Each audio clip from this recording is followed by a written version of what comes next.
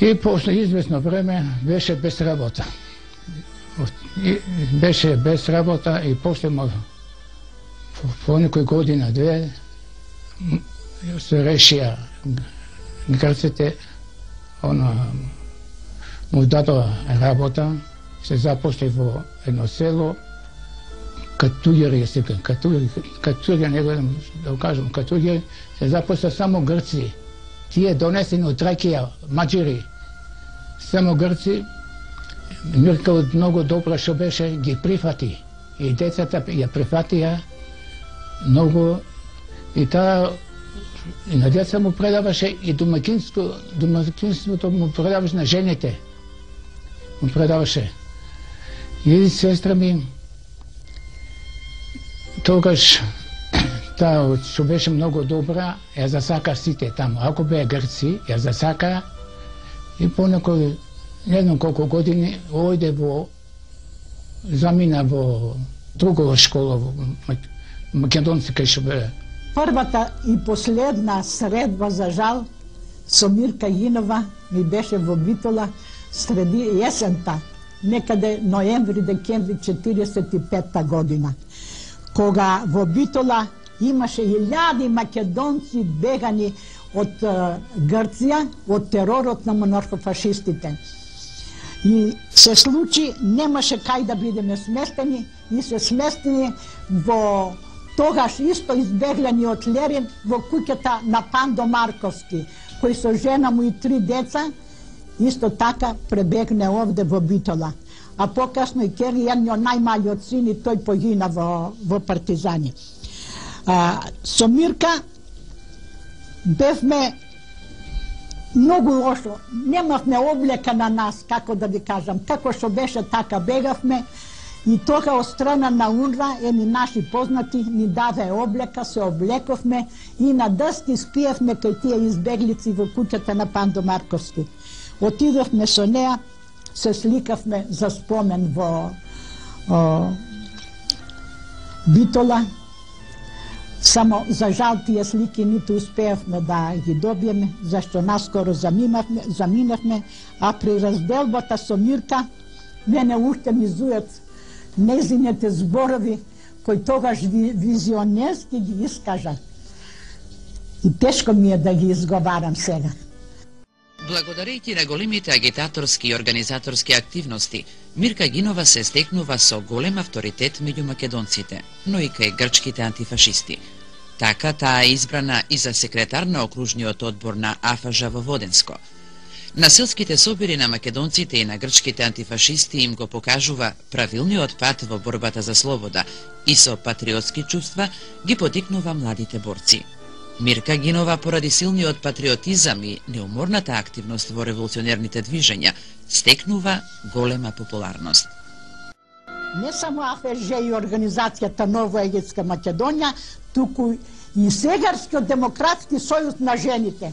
Еве ова на конференцијата, каде посебно и на сите конференции и конгреси Мирка завземаше посебно почасно место А ова жените во Егетска Македонија како учествуват во сите овие раненосачи, на сите овие во позадината, на сите е, ова што требаше. Помагања, едно друго жита, све што требаше. Се бореше со цела сила, та беше но, толку добра, немаше ни страх, ни ништо, и со, на сите му правеше поштовање, чест, со, така беше любезна према луѓето, ги сакаше, го сакаше народот. И зато се бореше со жештина се пореше да му докаже за еднината за Македонија за да живе народ. Фати 46-та Мирка непријатело, непријателите што ја предадоа, издајниците ја предадоа, ја фатија со шест души уште едни другари. Ја фатија и однесоа во Воден. Во Воден ја затворија, ги мачеа, ето многу ги мачеа. Забележителната револуционерна дејност на Мирка Гинова и на незините соборци ја следеле грчките реакционерни сили. Во јули 1946 година, Мирка Гинова заедно со своите другари Томе Мијангов, Петре Поп Димитров, директор Димитар Лимбов, Христо Стојанов, Георгиос Муцакос Алеко и Ѓорѓи Проев се фатени и осудени на смрт. Сопругата на Георгиос Муцакис Алеко, Христула, која била бремена, и медицинската сестра Ирина Мавропилиду се осудени на долгогодишна робија. Неуморната и правична активистка по апсењето е мачена, уценувана, понижувана. Но храброста и достоинството ги засенуваат сите зверски мачења на младата Гинова. Мирка Гинова со своите соборци е стрелана на 26 јули во 5 часот и 30 минути во 1946 година. И пред да биде стрелана, пред присутните Мирка изјавила Јас сум македонка и се борам за правата на народот, за една слободна татковина.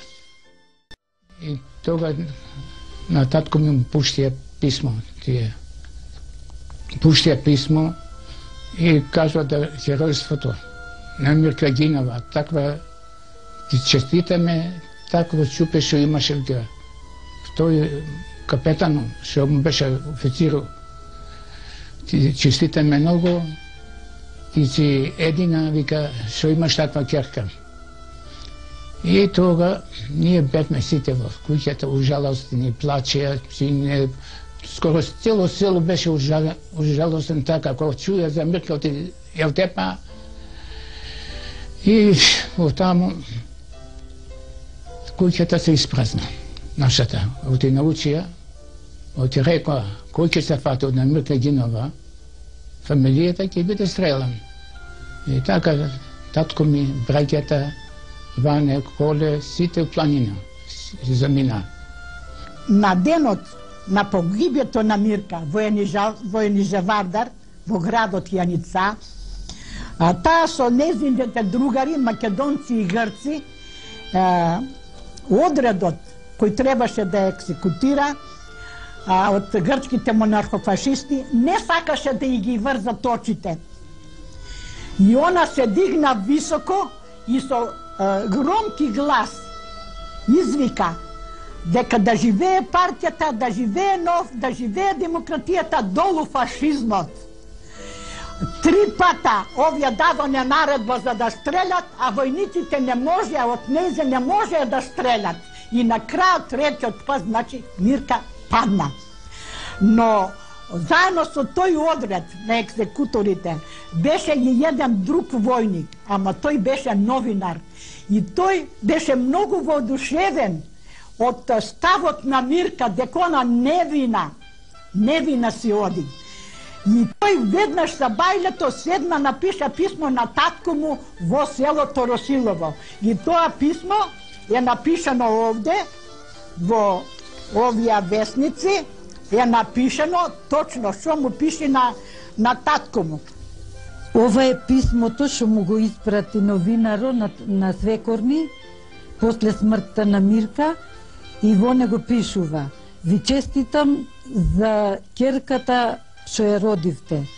Таја вика го при, ја прифати смртта а, радувајќи се а, со, со осмех на устата и со песна.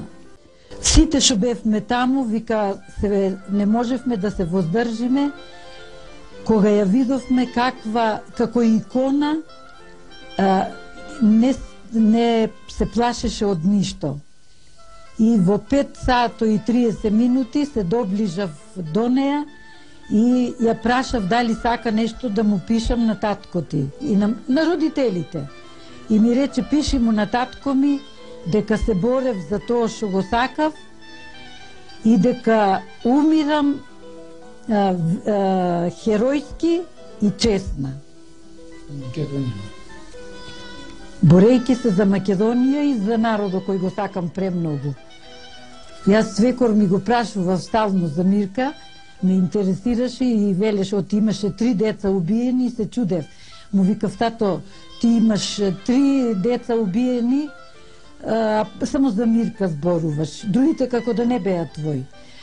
Вика, тие со куршум ги отепа и ништо не разбраја. Ама на Мирка маките не можам да му ги да му ги заборавам. Оти маките што ги тргна Мирка, онај терор што го направија врз неја, никогаш не ќе можам да го заборам. И заради тоа вика само за Мирка зборувам. И беше многу среќен, оти првата керка крстивме на Мирка на името. И ја сакаше премногу И кога умираше со е, чупето до него, да го држи зараче и му побара вода да се напие од низината чаша.